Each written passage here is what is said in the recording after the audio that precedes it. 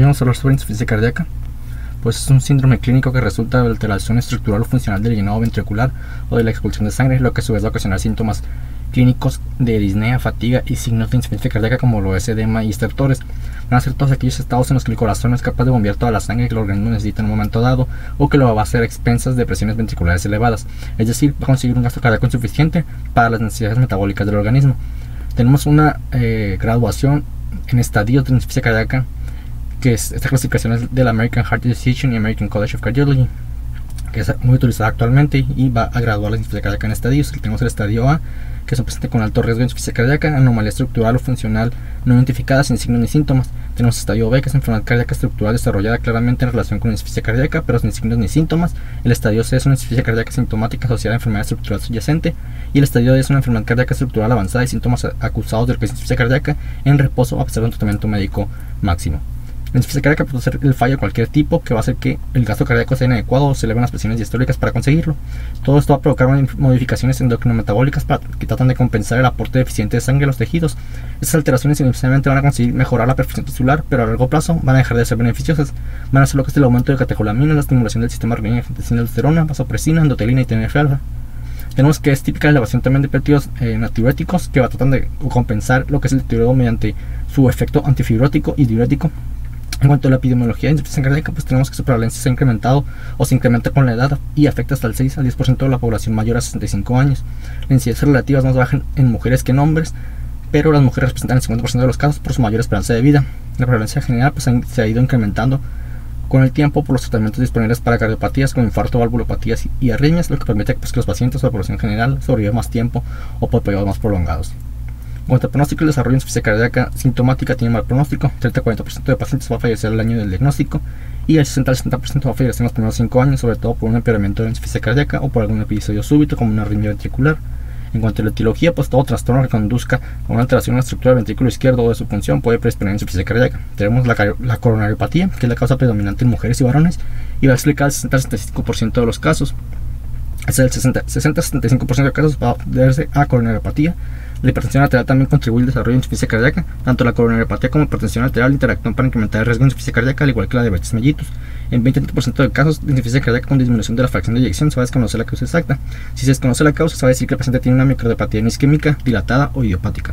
Las infecciones víricas o exposición a toxinas también pueden ocasionar miocardiopatía dilatada, y la mayoría de formas de miocardiopatía dilatada familiar van a tener una herencia autosómica dominante y se han identificado también mutaciones en genes que codifican proteínas del citoesqueleto como la desmina, miocina y vinculina y proteínas de la membrana nuclear como la laminina. La miocardiopatía dilatada también se puede relacionar con distrofias musculares de Duchenne y Becker y los trastornos que ocasionan un gasto cardíaco elevado como una fístula uh, atriovenosa, perdón, auriculoventricular, anemia eh, pueden ocasionar lo que es insuficiencia cardíaca en presencia de cardiopatía estructural subyacente. La cardiopatía reumática es la principal causa de insuficiencia cardíaca en África y Asia, y la hipertensión lateral también es una causa importante de insuficiencia cardíaca, sobre todo en, en africanos y lo que es estadounidenses de raza negra. La enfermedad de Chagas es la principal causa de insuficiencia cardíaca en Sudamérica.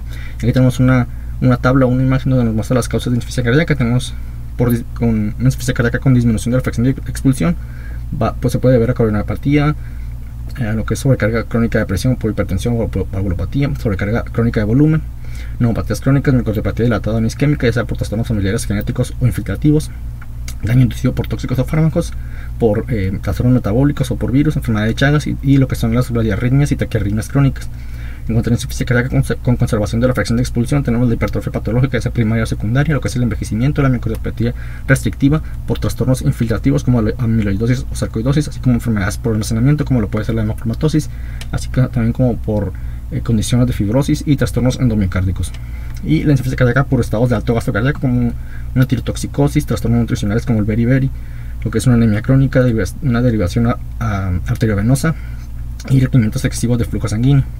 Otra tenemos otra imagen de la histología científica cardíaca, ya se comentó, pues la enfermedad cardíaca isquémica, la, enfermedad cardíaca isquémica, lo que es el daño tóxico, ya sea por abusos de sustancias tóxicas de uso recreativo como alcohol, cocaína, afetaminas, o que son metales pesados como el cobre, hierro, plomo, la medicación como fármacos citostáticos, lo que son inmunomoduladores, eh, antidepresivos, antiarrítmicos, antiinflamatorios no esteroideos, anestésicos, entre otros, entre otros También la radiación, daño inmunomediado, inflamatorio relacionado o no con infección, lo que es infiltración relacionado no con enfermedades malignas, con infiltraciones y metástasis directa y no relacionadas con enfermedad, enfermedad maligna, como lo puede ser una amiloidosis, sarcoidosis, hemocromatosis, enfermedad de depósito de glucógeno, enfermedad de depósito lisosomal, así como alteraciones metabólicas, ya sea hormonales o nutricionales, como por ejemplo enfermedad de tiroides y paratiroides, acromegalia, deficiencia del hormona de crecimiento, hipercortisolemia, enfermedad de Crohn, enfermedad de Addison, diabetes, síndrome metabólico, ferocromocitoma, entre otras, y nutricionales por pues, las deficiencias de ciertos, ciertas sustancias como tiamina, carnitina, hierro, fosfatos, calcio, desnutrición compleja, ya por malignidad o sida y obesidad, entre otras. ¿no? También, pues, comentó, hipertensión, defectos valvulares, estado de, de gasto elevado como anemia, sepsis, tirotoxicosis, fístula arteriovenosa, embarazo, sobrecarga de volumen por insuficiencia renal, sobrecarga de fluidos y las arritmias. Clasificación pues va a depender del tipo de, afectación funcional predominante. Se puede clasificar en insuficiencia cardíaca sistólica o diastólica, a la cronología de síntomas aguda o crónica, a, lo que es la localización anatómica de la expulsión izquierda o derecha, al tipo de síntomas predominantes, anterograda o retrógrada, y se, y se ha cambiado lo que es la denominación insuficiencia cardíaca sistólica y diastólica en favor de lo que es insuficiencia cardíaca con función sistólica deprimida o reducción de la fracción de expulsión o FEBI deprimida, insuficiencia cardíaca con función sistólica preservada o conservación de la fracción de expulsión o FEBI conservada. Aquí la insuficiencia cardíaca con una FEBI normal es considerada como igual o mayor a 50% y una insuficiencia cardíaca con FEBI reducida es considerada menor a 40%. Los pacientes que tengan insuficiencia cardíaca con una FEBI del 40 al 49% se representan en una zona gris que se define como insuficiencia cardíaca con FEBI en rango medio. El diagnóstico de insuficiencia cardíaca con fracción de eyección conservada es más complejo que el, diagnóstico de insuficiencia cardíaca con fracción de eyección reducida. Los pacientes con insuficiencia cardíaca con fracción de eyección conservada generalmente no presentan dilatación del ventrículo izquierdo, pero normalmente van a tener un aumento del grosor de la pared del ventrículo de este ventrículo izquierdo o aumento del tamaño de la aurícula izquierda como un signo del aumento de las presiones de llenado. La mayoría van a tener signos adicionales de capacidad de llenado o de succión del ventrículo izquierdo afectada y también pues, se va a clasificar como disfunción diastólica. No obstante, gran parte de los pacientes con insuficiencia cardíaca con fracción de eyección reducida o antes mencionada como insuficiencia cardíaca sistólica tienen también disfunción diastólica y en pacientes con insuficiencia cardíaca con fracción de eyección conservada se pueden encontrar leves anomalías de la función sistólica. Por esto se prefiere emplear los términos FEBI conservada o FEBI reducida en lugar de función sistólica conservada o reducida. Los pacientes con insuficiencia cardíaca con fracción de eyección en rango medio probablemente también tengan disfunción sistólica leve, pero con características de disfunción diastólica. Aquí tenemos un cuadro que nos muestra pues, las diferencias entre la cardíaca con FEI deprimida y la conservada. La FEI deprimida tiene una prevalencia, una prevalencia mayor, la FEI conservada tiene una prevalencia menor y es más frecuente en ancianos. La FEBI en la cardíaca con FEI deprimida es menor al 50%, en la FEI conservada es mayor al 50%. En cardíaca con FEI deprimida tiene dilatación de lo que es el ventrículo izquierdo y en FEI conservada no hay dilatación. La hipertrofia del ventrículo izquierdo en cardíaca con FEI deprimida es escasa mientras que es frecuente en la insuficiencia cardíaca con FEI conservada. En cuanto al tratamiento de la FEI deprimida, tenemos que hacer diuréticos, YKSARA 2, hidralacina, manitratos, metabloqueadores, espironolactona, pelerona.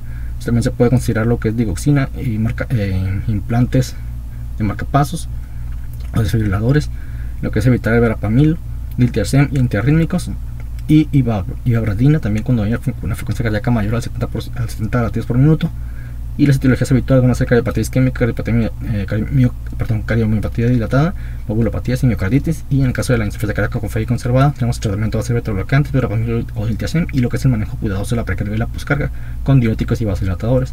Las etiologías habituales van a ser miocardiopatía hipertrófica, miocardiopatía restrictiva, hipertensión y diabetes, así como enfermedad pericárdica.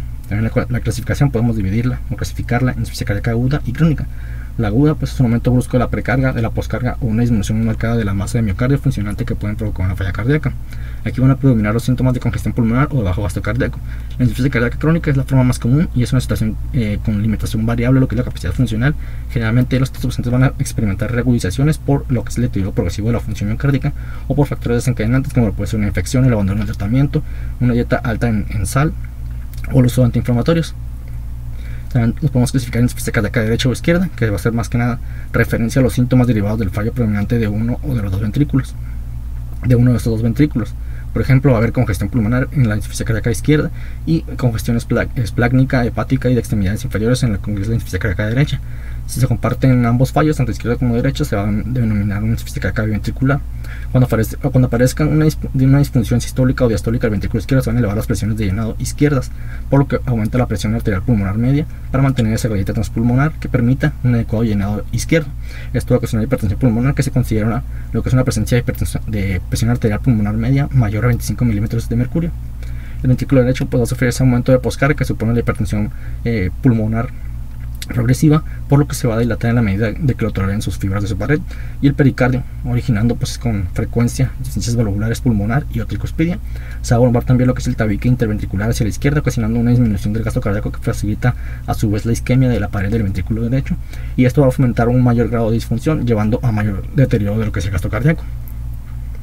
Aquí tenemos una diferencia, una comparación entre los síntomas debidos a bajo gasto y síntomas debidos a congestión de los tejidos, así como la exploración física entre la insuficiencia cardíaca izquierda y derecha. En la insuficiencia cardíaca izquierda tenemos que los síntomas debidos a, bajo gasto o anterógrados van a ser signos de hipoperfusión tisular periférica, como lo es eh, oliguria, astenia, debilidad, confusión, insomnio, pérdida de memoria.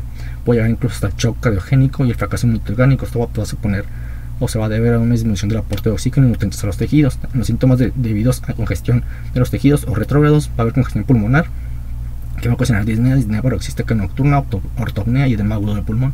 En la exploración física, en la cardíaca izquierda, tenemos palpitantes inspiratorios y bilantes que se conocen como asma cardíaco, lo que es un esputo rosado, ritmo galopante o de tercer ruido, el cuarto ruido, un, pulso alternante, la disminución de la presión arterial diferencial y una presión capilar pulmonar elevada. Y en el caso de la insuficiencia cardíaca derecha, los síntomas debidos a bajo gasto, pues aquí los síntomas de hipoperfusión, pulmonar van a ser poco, poco frecuentes y, puede haber lo que es hipotensión arterial. En cuanto a los síntomas debidos a congestión de los tejidos o retrógrados, puede haber una acumulación de sangre en las venas sistémicas que va a ocasionar edema periférico, que va a dejar una fobia a la presión, hepatomegalia, que va a ser dolorosa, ascites, derrame pleural, enteropatía con pérdida de proteínas y oliguria. Y en la exploración física va a haber ingurgitación yugular, un reflejo hepatoyugular, hepatomegalia y una presión venosa central elevada. En cuanto a la patogenia, pues la insuficiencia cardíaca es un trastorno progresivo que se inicia después de un caso inicial con daño a lo que es el músculo cardíaco y pérdida de miocitos cardíacos funcionales, o también como una alteración de la capacidad del miocardio para generar fuerza, lo que evitaría que el corazón se contrajera normalmente. El caso inicial puede tener aparición súbita como infarto agudo miocardio o bien de ser de inicio gradual o insidioso como una sobrecarga hemodinámica de presión o volumen, o bien podría ser un trastorno hereditario como es el caso de las miocardiopatías genéticas. En la mayoría de los casos los pacientes van a permanecer asintomáticos o con pocos síntomas después de lo que es una reducción inicial. No se sabe con seguridad porque estos pacientes van a eh, permanecer asintomáticos, estos pacientes que tienen disfunción del ventrículo izquierdo, pero una explicación es que se van a activar mecanismos compensadores en presencia de lesión cardíaca y o disfunción del ventrículo izquierdo, que van a permitir modular lo que es la función del ventrículo izquierdo por meses o años. Esos mecanismos compensadores van a ser la activación del sistema renal angiotensina aldosterona y del sistema nervioso adrenérgico, que van a mantener el gasto cardíaco al aumentar la retención de sodio y agua y lo que es el incremento de la contractilidad miocárdica. Además, también va la activación de de lo que son vasodilatadores, incluyendo lo que son los péptidos natriuréticos auricular encefálico, prostaglandinas y óxido nítrico, que van a evitar la vasoconstricción periférica excesiva. La transición de insuficiencia cardíaca sintomática se va a acompañar de un incremento en la activación de los sistemas neurohormonales, adrenérgicos y citocinas que van a conducir a cambios adaptativos en lo que es el miocardio. Va a haber una remodelación del ventrículo izquierdo, que es, todos estos cambios en la masa, forma y composición del ventrículo, eh, de este ventrículo izquierdo que ocurren después de una lesión cardíaca con enfermedades que van a ocasionar cargas hemodinámicas irregulares y va a contribuir de forma independiente a la progresión de la insuficiencia cardíaca. Cuanto a la patogenia, pues la insuficiencia cardíaca con fracción de expulsión reducida, pues aquí la remodelación del ventrículo izquierdo se desarrolla en respuesta a sucesos celulares y moleculares como los de hipertrofia de miocitos, alteraciones contráctiles de miocito, pérdida progresiva de miocitos por necrosis y apoptosis, desensibilización de lo que son los receptores enérgicos, anomalías en la producción de energía y el metabolismo del miocardio, y lo que es la reorganización de la matriz extracelular con disolución de colágeno estructural que rodea los miocitos con sustitución por una matriz de colágeno intersticial que no va a proporcionar lo que es un apoyo estructural. El estímulo para estos cambios va a ser la presión mecánica del miocito, neurohormonas circulantes como angiotensina, noradrenalina, citocinas inflamatorias como TNF, péptidos y factores de crecimiento, así como radicales de oxígeno. La expresión excesiva y sostenida de estas moléculas con actividad biológica van a contribuir a la progresión de la insuficiencia cardíaca por los efectos nocivos que va a tener en el corazón y en la circulación. La activación neurohormonal sostenida y la sobrecarga mecánica van a producir cambios en la transcripción y en los genes y proteínas que regulan el acoplamiento, excitación, contracción y en los, en los puentes transversales. Puede ocurrir también un retraso en el llenado del ventrículo izquierdo por menor distensibilidad, ya sea por hipertrofia fibrosis, con un incremento similar en lo que son las presiones de llenado o al final de la diástole. Un incremento en la frecuencia cardíaca va a cortar el tiempo de llenado diastólico, lo que va a incrementar las presiones del llenado del ventrículo izquierdo, en particular en aquellos que no se encuentren distensibles o que no sean distensibles. Además de la reacción miocárdica alterada, el aumento de la rigidez del miocardio, que puede ser secundario a hipertrofia cardíaca, y el incremento del contenido de colágeno miocárdica pueden contribuir a la insuficiencia diastólica. En cuanto a la clínica, pues tenemos que la disnea es el síntoma más frecuente de insuficiencia cardíaca. Se va a deber pues, a una acumulación de líquido en el intersticio pulmonar que va a dificultar la distensión pulmonar. Esto pues más que nada por una elevación de la presión venosa y presión capilar pulmonares. En etapas iniciales pues va a ocurrir durante el esfuerzo y conforme progresa, ya en fases finales de lo que es insuficiencia cardíaca, pues va a ocurrir con actividades menos extenuantes o, incluso en lo que es el reposo. En insuficiencia cardíaca leve moderada no existe angustia en reposo. En insuficiencia cardíaca grave el paciente puede, eh, debe permanecer sentado y la respiración puede ser difícil y tener dificultad para comunicarse por la disnea. El mecanismo va a ser la congestión pulmonar por una acumulación de líquido en lo que es el intersticio pulmonar o en el espacio alveolar, lo que va a activar los receptores J yuxtacapilares que a su vez estimulan respiración rápida y superficial que caracteriza la disnea cardíaca. Otros factores que también pueden contribuir a la disnea de esfuerzo son una menor distensibilidad pulmonar, un incremento en la resistencia de vías respiratorias, fatiga de músculos respiratorios y del diafragma, así como anemia. Aquí tenemos la clasificación funcional de la NIJA clasifica en clase 1, 2 y 3 y 4. La clase 1 pues es asintomático, aquí no va a haber limitación durante la actividad ordinaria, no hay fatiga, disnea, palpitaciones ni angina. La clase 2 es leve, hay una leve limitación para la actividad física. La clase 3 es moderado, hay una limitación ya más marcada para la actividad física, aunque el paciente puede estar asintomático en reposo. Y la clase 4 es el severo, es cuando ya hay incapacidad para realizar cualquier tipo de actividad física hay una incapacidad para cualquier actividad física sin molestias y los síntomas se pueden presentar aún en reposo. También tenemos lo que es la disnea paroxística nocturna, que son episodios agudos de disnea grave y todos durante la noche que van a despertar al paciente. Pueden manifestarse por tos o sibilancias, tal vez por incremento de lo que son las presiones en las arterias bronquiales, que va a ocasionar una compresión de la vía respiratoria, junto con el, edema pulmonar intersticial, lo que ocasiona un incremento en las resistencias de vías respiratorias. La ortopnea pues, es una disnea que ocurre en decúbito, suele ser una manifestación tardía, generalmente aparece más tarde que la disnea de esfuerzo y la nocturna es una manifestación frecuente de este proceso. Se va a deber a redistribución del líquido de la circulación esplácnica del abdomen y de extremidades inferiores hacia lo que es la circulación central en el tórax durante el decúbito, con el incremento resultante en lo que es la presión capilar pulmonar. Es un síntoma relativamente específico, pero puede ocurrir también en otras condiciones como lo puede ser obesidad o asitis. Y la ortognia se va a aliviar al sentarse o dormir con almohadas adicionales. También tenemos la respiración de Cheyne-Stokes, que es una respiración episódica o cíclica. Aquí va a haber una alternancia en los episodios de apnea con periodos de hiperventilación o hipocapnia. Se va a observar en 40% de pacientes con insuficiencia cardíaca avanzada y casi siempre se va a relacionar con un bajo gasto cardíaco. Se origina por una mayor sensibilidad de los centros respiratorios a lo que es la presión de dióxido de, carbono arterial. Hay una fase de apnea durante la cual la presión de oxígeno arterial va a disminuir y la presión de dióxido de carbono arterial se va a incrementar. Estos cambios en el contenido de la gasometría arterial van a estimular el centro respiratorio que se va a encontrar deprimido, lo que va a dar origen a la hiperventilación y la hipocapnia. Otros síntomas van a incluir anorexia y náuseas. En insuficiencia cardíaca grave se ha observado confusión, desorientación y trastornos de sueño y del estado del ánimo, así como pérdida de peso y caquexia. Esto más que nada por elevación de la tasa metabólica. La hipofusión cerebral que también se va a presentar va a causar esta confusión, esta disminución de la memoria y de la capacidad de concentración, así como ansiedad, insomnio y cefalea. También puede ser evidente la cianosis, diaforesis, taquipnea y signos de hipofusión periférica como lo es la frialdad de las extremidades, cianosis acne y en, y en lo que son los labios y lechos unguiales y también puede haber oliguria. Y también puede haber otros de congestión sistémica, como lo puede ser una presión venosa yugular elevada, además en lo que son los miembros inferiores, e ictericia por congestión e hipoxia hepática. En pacientes con enfermedad avanzada, pues ser evidente la emaciación, que se conoce como caquexia cardíaca, por producción de citocinas como interferón, mala absorción por congestión abdominal y lo que es una enteropatía proteína. En cuanto a la exploración física, pues vamos a ver en los signos vitales que la presión arterial puede ser normal si la situación hemodinámica del paciente está compensada. La presión arterial sistólica puede estar normal o elevada en etapas iniciales, pero se encuentra reducida en insuficiencia cardíaca avanzada por disfunción del ventrículo izquierdo. La taquicardia sinusal va a ser un signo inespecífico por un incremento en lo que es la actividad adrenérgica en el paciente. En cuanto a las venas yugulares, pues exploración nos permite estimar la presión de, lo que es la aurícula derecha. La presión se va a apreciar esta presión se va a apreciar mejor en lo que es el decúbito con inclinación de la cabeza a 45 grados. Debe cuantificarse en centímetros de agua y lo normal va a ser una, igual, una presión igual o menor a 8 centímetros al estimar pues lo que es la altura de la columna venosa de sangre por arriba del ángulo del esternón en centímetros y después añadirle 5 centímetros.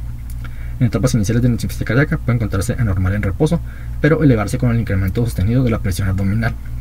Se conoce como el reflujo abdomino, yugular positivo.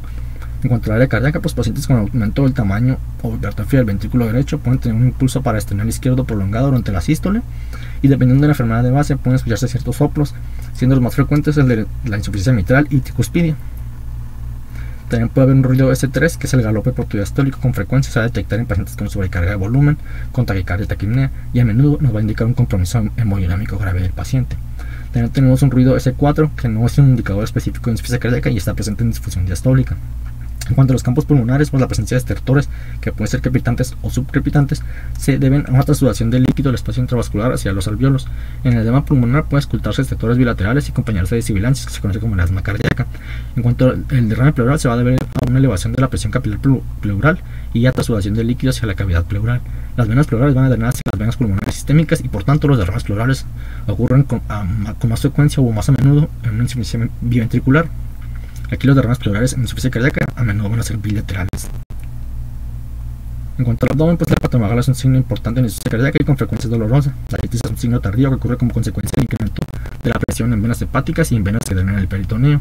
La ictericia va a ser una manifestación tardía en insuficiencia cardíaca y se va a deber a alteración de la función hepática por congestión y hipoxia hepatocelular. Y la congestión hepática puede causar dolor en lo el cuadrante superior derecho o en lo que es el hipocondrio derecho.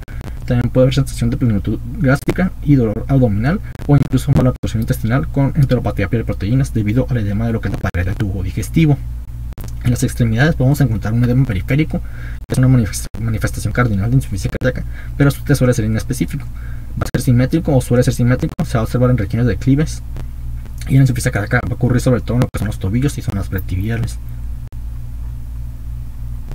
Aquí tenemos los síntomas y signos más específicos y más típicos y los menos típicos y menos específicos. Por ejemplo, los síntomas típicos vamos a tener disnea, ortopnea, disnea paroxística nocturna, tolerancia al ejercicio disminuida, fatiga, cansancio, más tiempo hasta recuperarse del ejercicio, más tiempo para recuperarse de lo que es el ejercicio, inflamación de tobillos y menos típicas.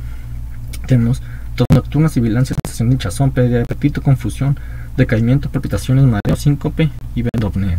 Y los signos más específicos tenemos la presión venosa yugular elevada, el, reflujo hepatoyugular, lo que es el tercer, sonido cardíaco y lo que es un impulso apical desplazado lateralmente. Y los signos menos específicos son un aumento de peso mayor a 2 kilogramos por semana, pérdida de peso, insuficiencia cardíaca avanzada, lo que es pérdida de tejido o paquexia, soplo cardíaco de periférico, lo que son tobillos sacro o escroto, lo que son los crepitantes pulmonares, una menor entrada de aire y matidez de la percusión en las dosis pulmonares, sospechando pues de derrame pleural, taquicardia, un pulso irregular, taquimia, respiración de chin stokes, hepatomegalia, asitis, extremidades frías, oliguria o una presión de pulso estrecha. También es importante mencionar los criterios de Framingham, que a tener una excelente sensibilidad y un valor, un valor predictivo positivo muy alto, 96.4 y 97% respectivamente, pero van a tener una escasa especificidad de 38% para el diagnóstico de insuficiencia cardíaca histórica cuando se compara o se enfrenta su presencia o ausencia con lo que es el valor de 45% de la FEBI obtenido con la electrocardiografía. Lo que es la electrocardiografía, perdón.